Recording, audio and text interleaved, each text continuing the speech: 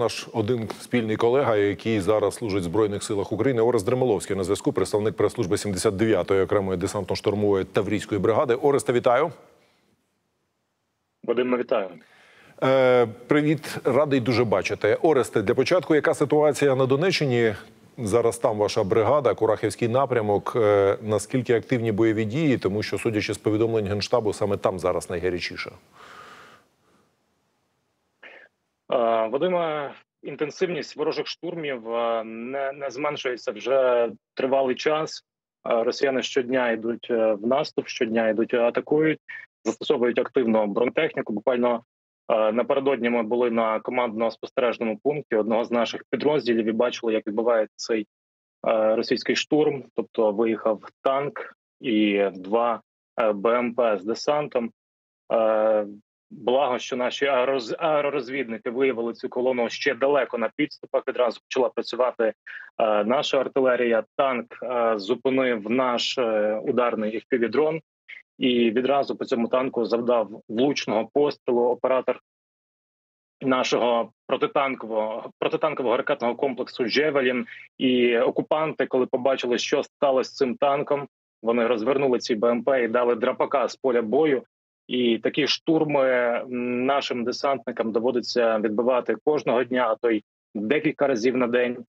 Е, Плани росіян незмінні. Вони рвуться до траси е, на Вугледар, яка пролягає через село Костянтинівка. І для того, щоб вийти на цю трасу, росіяни не шкодують ані людей, ані, ані е, своєї техніки. Я нагадаю нашим глядачам, що е, ми традиційно підтримуємо збройні сили збором. Зараз конкретно 79-ту бригаду, е, про яку і говоримо. QR-код і номер картки там є. Е, про це трошки пізніше. Е, хотів Оресте поцікавитися. Росіяни тут днями повідомляли, що вони Парасковіївку, начебто, захопили. Це якраз зона вашої відповідальності. Це відповідає е, реальності їхні заяви? Абсолютно не відповідає. Власне, міністерство вбивства не повертається язик його назвати Росії. Е, Традиційно бреше. Наші підрозділи досі перебувають у селі Парасковіївка, досі дуже міцно тримаються за ці позиції. Е, Фактично, село е, зруйноване, там немає жодної цілої будівлі. Росіяни дуже інтенсивно засипають це село снарядами, мінами, б'ють авіабомбами. Але десантники 79-ки досі перебувають е, у селі Парасковіївка, і ця інформація російського е, міністерства вбивства абсолютно абсолютно не відповідає дійсності. Зрозуміло. Дякую за це уточнення. Е, Хотів поцікавитися, оскільки днями повідомили, що перша партія чеських снарядів, умовно, це ініціатива чеська про доставку в Україну 152 мм артилерійських снарядів, почала заходити вже на позиції. Чи є у вас відчуття цього снарядного голоду, про який ми так багато говорили?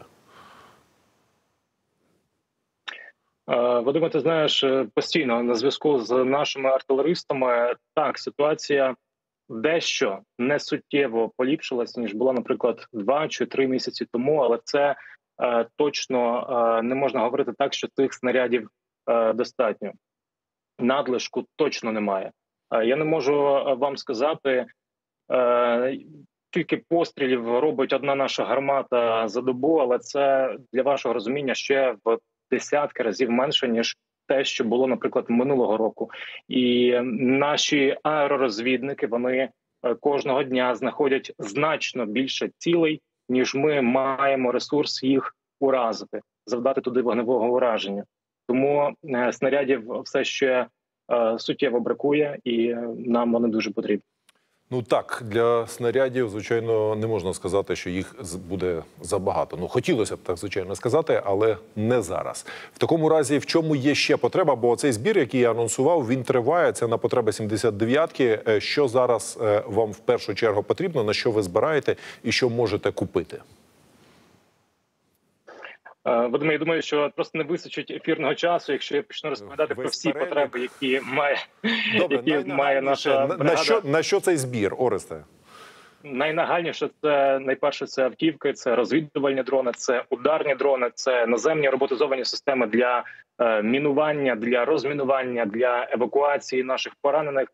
Е, Це також прилади нічного бачення, це засоби радіоелектронної боротьби, які дуже е, рятують нас від цього засилля ударних е, FPV російських, які дійсно рятують життя. І власне цей збір, цей QR-код, який ви бачите на своїх екранах, це офіційний рахунок 79-ї е, десантно-штурмової таврійської бригади. Ви можете, якщо маєте намір і можливість підтримати таврійських десантників, які вже два роки без ротацій, без відпочинку б'ються за Україну на одному з найважчих напрямків фронту. І роблять це дуже стійко, дуже надійно отримують позиції. І за кожну гривню ми будемо вдячні. Кожна ваша гривня на цей збір вона буде скерована дійсно на ті потреби, які рятують життя і які наближають нашу перемогу і мир для усіх нас.